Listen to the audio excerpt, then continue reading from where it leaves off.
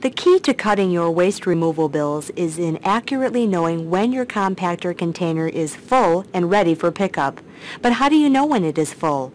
Let's take a look inside of a compactor.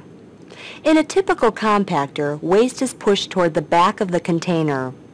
As the container is filled, greater ram pressure is required as shown on the pressure gauge. At this point, the compactor pressure gauge indicates a false full. A pickup call now would unnecessarily increase costs because after additional compactions, the blockage is broken and more space is clearly available.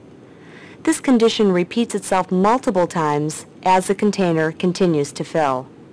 Unlike gauges, the waste edge monitor system is not fooled by periodic blockages and pressure increases. It uses patented digital technology to determine the optimal point at which the monitor will order a pickup.